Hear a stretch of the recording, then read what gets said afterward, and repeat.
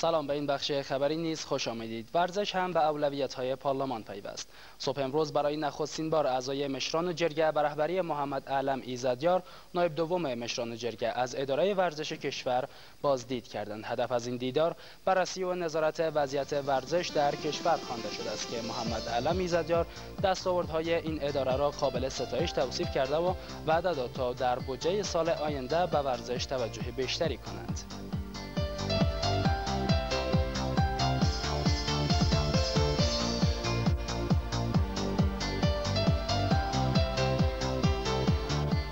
ورسی قانونگذاری هم در ورسی تصویب بودجه لازم به کمیته ملی المپیک بخش مختلف ورزشی و هم در قسمت با استفاده از صلاحیت نظارتی خود ما ورزش بیشتر حمایت بکنیم. بودجه سال 90 ورزش در کنار اولویت های دیگه قرار بدیم. خدا بخواد کمک بکنیم اعضای مشران و جرگه افغانستان ورزش را تنها راه صلح و همبستگی عنوان کردند و از مسئولین و کسانی که در از هستند خواستند تا در رشد و توسعه آن کوشش نمایند.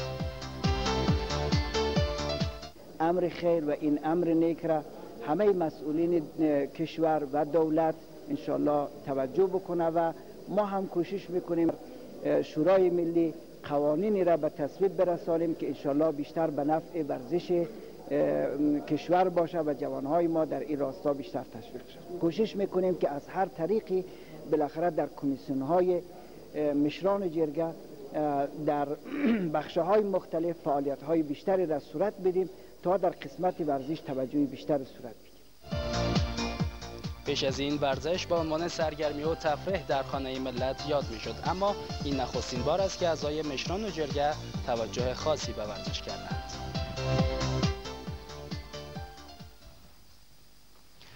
مسابقات بزکشی ولایت نورستان آغاز شد. به منظور حمایت از شورای محلی صلح و امنیت در نورستان مسابقات بزکشی از سوی والی و آمریت ورزشی این ولایت در پارون برگزار شد. در این مسابقات که روز گذشته در مرکز نورستان راه اندازی شده است دو تیم مندول و پارون برای کسب عنوان قهرمانی با یکدیگر به رقابت می‌پردازند.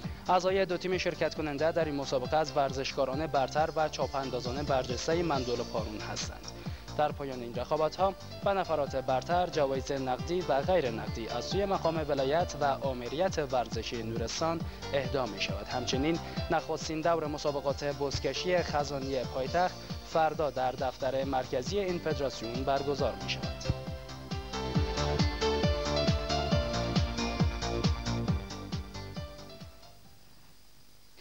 تیم new full contact کشورمان وارد پایتخت شد. ملی پوشان رشته ورزشی new full contact افغانستان که چندی پیش برای حضور در چهارمین دور مسابقات بین المللی اردبیل شرکت کرده بودند با کسب عنوان نایب قهرمانی شام امروز وارد کابل شدند.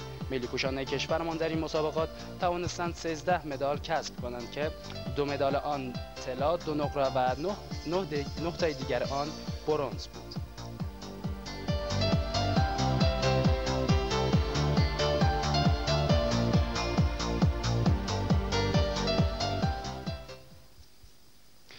و اما رقابت های مویتای دور دوم مسابقات گزینشی تیم ملی مویتای کشور به پایان رسید.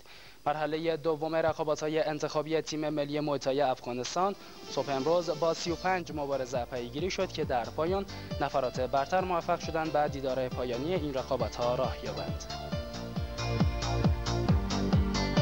از هر وزن دو نفر به فاینال انتخاب می‌رسن و یک نفرشان خب نفر اول نفر دوم و نفر سوم میشن اعضای تیم ملی و امیدوار هستیم که از این تعداد می‌تونیم حداقل 5 6 7 نفری را در مسابقات قهرمانی جهان اعزام کنیم در این مسابقات بیش از 200 مویتای کار از ده ولایت کشور در پایتخت گرده هم آمدند و برای پوشیدن پیراهن تیم ملی با یکدیگر به رقابت می‌پردازند.